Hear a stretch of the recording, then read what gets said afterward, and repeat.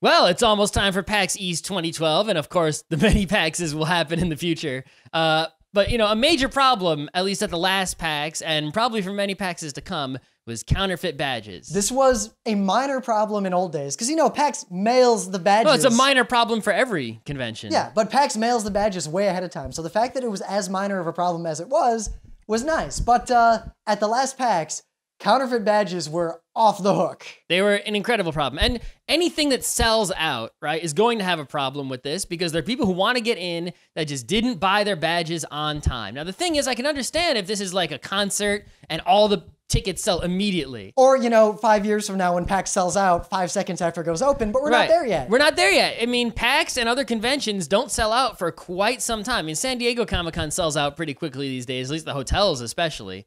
Um, but the conventions, you know, PAX doesn't sell out immediately. It takes, you know, weeks and weeks.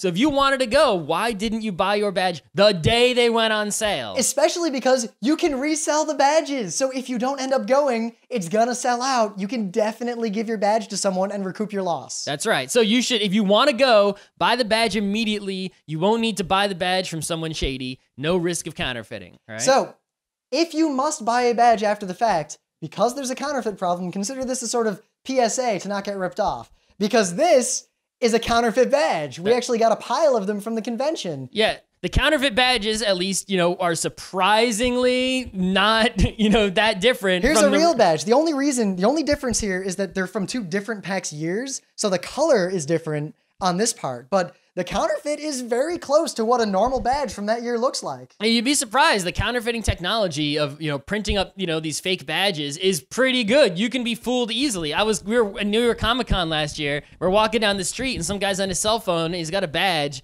and he's like he's talking to his friend like you know it's just some stranger who happens to be standing next to us and he's talking to his friend about it. He got a badge for twenty bucks and I look at it. I'm like, dude, that badge is counterfeit, yo. And he's like, no. I'm like, yep. Yeah, we're Hundred like-. We're like, give it to us. And we're like, yeah, it's counterfeit. And it was.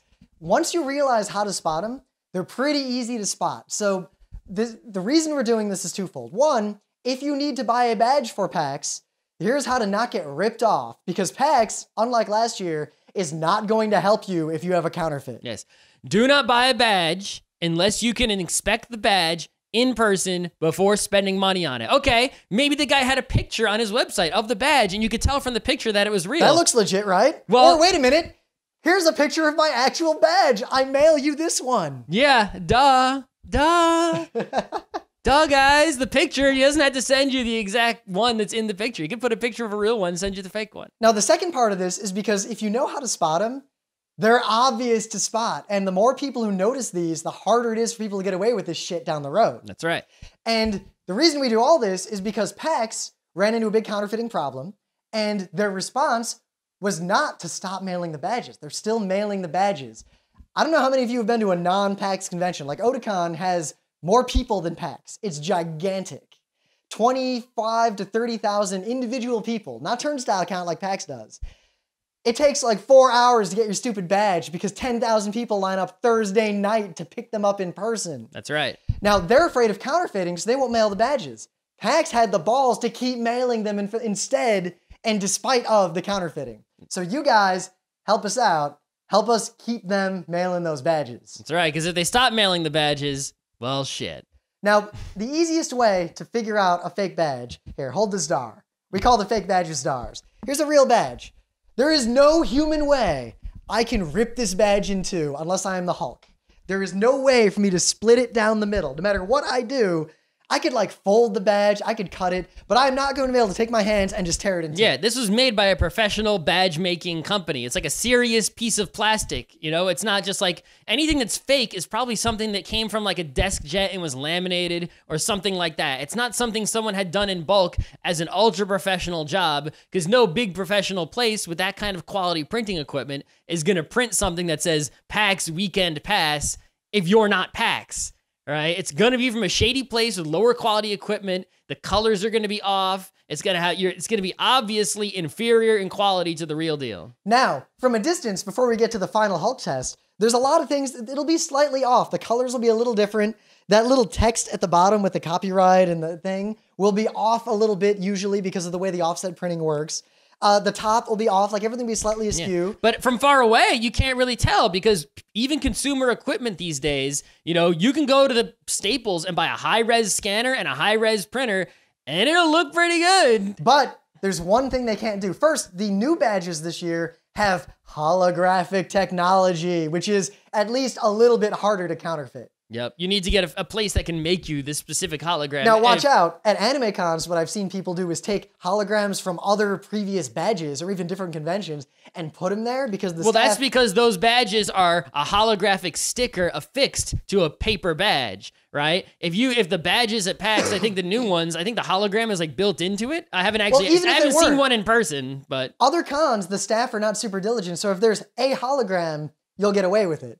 But at PAX, we have it on pretty good authority that if the hologram doesn't match, it'll be obvious right away. Hmm. But the simplest test, without doing any sort of like deep analysis, is to take the stupid badge and grab by the edge and try to split it in two. Because, oh shit, they're super easy to rip in two. because it's just a piece of paper that was laminated and then cut. So it's not sealed on the sides, right? It's, it's not a piece of plastic with printing in the middle of it. It's a piece of paper that was printed at a cheapo place, which means you can split it open in the paper area. So literally, the easiest way to tell a counterfeit PAX badge is to take it and try to rip it in two. Now, this, of course, only applies if they use the same method of counterfeiting. It Some is highly unlikely that they will have a better method so close to the con because the the badges got mailed out kind of late, and the badges have different features this year. So this is the best test, I think. Also, the cost, right? The cost of counterfeiting fancy badges can be prohibitively high to the point at which you won't really make too much money by trying to sell them. Now, one other thing I do want to bring up is that there are other kinds of badges. I mean, we always have the speaker badge, and there's this, you know, there's the GA badge and all these other badges. The badges that aren't normal attendee badges are not transferable. It says here that this is not my badge. This is PAX's badge. They can take it away from me, and I am not allowed to give it to any other human being ever. I think it says that on the regular badges too, doesn't it? No, regular badges, they can take it away because they still own it, but you are allowed to resell your regular attendee badge. Mm, mm. But if someone tries to sell you any badge that isn't a normal three day or Friday, Saturday, or Sunday badge, they're breaking they're violating the TOS anyway. They're not allowed to sell it to you. They probably stole it because no one's gonna sell their speaker badge legit.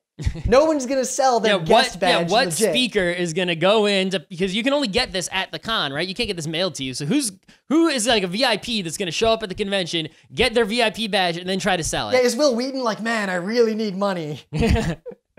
Seriously, it's gonna be fake if it's not a regular badge. So if someone tries to sell you a, a weird badge, tell an enforcer because something shady's going on. Either they found some poor guest badge, they might have robbed it from someone. yeah, or somebody is really up in the counterfeit game.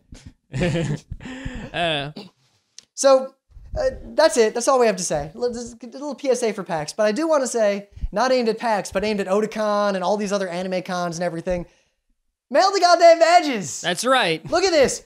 PAX still does it despite all these problems because it saves so much time and so much money. There is no reason to not mail your badges if you're a medium sized con or bigger. And this is to all the conventions out there, right? You need to be really much harsher on the people who do get in with counterfeit Anime badges. Boston now, stepped up. They right. have a way better policy. Now the fact is, all right, it is true. Someone who buys a counterfeit badge unknowingly and then tries to go into the con is completely innocent. It might even be a little kid, right? they're naive at best. That's yes, the crime. Right? And it's like, did they really do anything wrong? No. However- It- but you need to just kick them out mercilessly and not let them back in because that's the only way people will learn their lesson not to spend money Now, the on some example shady badge. Is if I go to Shea Stadium with a counterfeit baseball ticket, no matter how nice I am, no matter how Yeah, it nice that doesn't old, matter It's always a nice old man usher at the, or even at the entrance who's scanning the badges there- or the tickets. He is not going to let me in, no matter how nice he is. That's right. Even if you were like the saddest story in the world, like a little disabled kid, right? Everyone loves him. Maybe they would be nice and let you in for free, whatever, right? But if you walk up with some fake ticket, there's still going to be like no admittance. You have a fake ticket, right? So conventions, don't, if someone has a fake badge, just kick their ass to the curb. That's it. End of story. Now, if you're not sold out, right? It's a non-sold out convention. Then let- piece of cake. Yeah, All let- right, here. You want to buy a badge? Yeah, you want to buy a badge? Sure, buy one at full price like everyone else. If you lose your badge, oh well, buy one at full price like everyone else. But if you're sold out, you're done. Go home.